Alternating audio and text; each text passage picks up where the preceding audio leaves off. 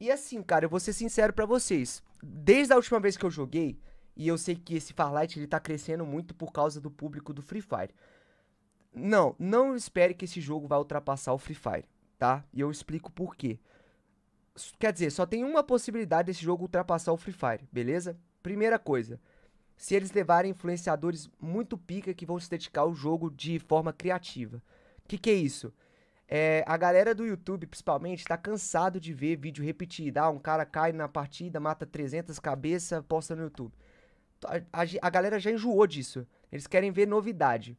Então, qual que seria a novidade? Se entrar um criador de conteúdo foda no Farlight, que faz, tipo assim, uns tente no ri, uns bagulho resenha, é, com dica, com tutorial, um cara assim, esse cara vai se destacar porque é um cenário totalmente novo, tá?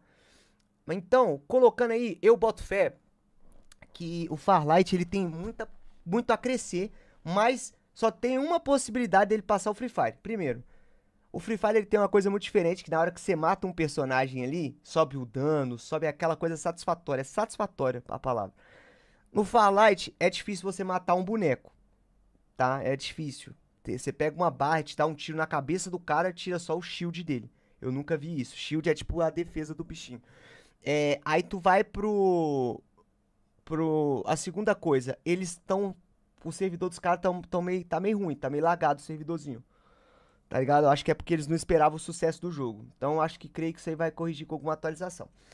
E terceiro lugar é que tá tendo. Eles, se eles não abrirem um servidor é, totalmente focado nos, no, no Brasil, é, esquece, eles não vão conseguir pegar o público do Free Fire, tá ligado?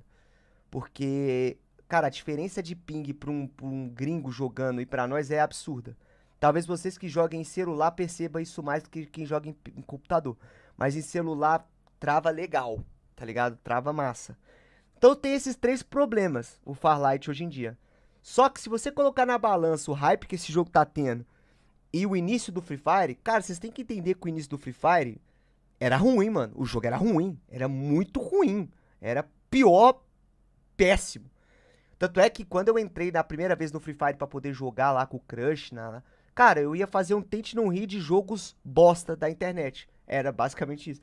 Tipo assim, eu pegava um jogo que eu achava muito feio e começava a jogar pra ir jogando e botar aquelas edições que eu botava, maluquice, pra poder fazer um bagulho massa. Entendeu? É. Só que aí com o tempo o Free Fire foi melhorando.